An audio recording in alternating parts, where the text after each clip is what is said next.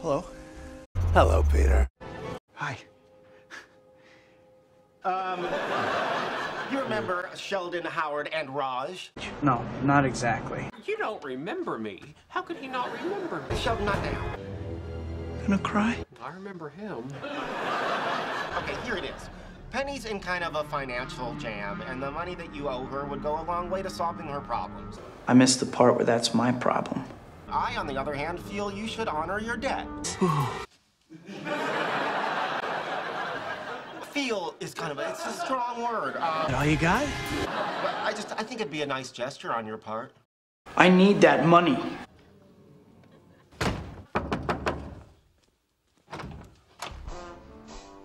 I'm not leaving here without Penny's money. A hundred bucks.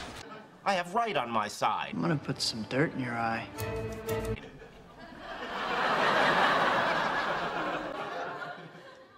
And I'm wearing cargo shorts under my pants. See you, chump.